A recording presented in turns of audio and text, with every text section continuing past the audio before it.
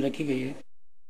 Gwalior police ने एक महिला की दहेज प्रताड़ना की शिकायत पर एनआरआई युवक और उसके पिता को गिरफ़्तार किया है। महिला ने युवक पर शादी के बाद दहेज के लिए मारपीट करने और परेशान करने का आरोप लगाया है। महिला की शिकायत पर पुलिस ने गोविंदपुरी से प्रतीक गुप्ता और उसके पिता कमलेश गुप्ता को गिरफ़्तार किया है। के महीने में शादी हुई थी।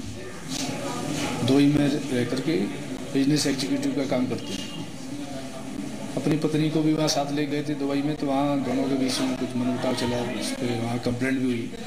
उसके बाद उनकी पत्नी यहाँ पे आ गई उस थाने में कल ने रिपोर्ट दर्ज कराई कि उनके पति द्वारा और ससुर द्वारा दहेज को लेकर के मानसिक रूप से प्रताड़ित किया जाता है। इस पर से चार सौ अंठानवे का अपराध कायम करके दोनों गिरफ़्तार किया गया, कोर्ट में पेश किया जा रहा है।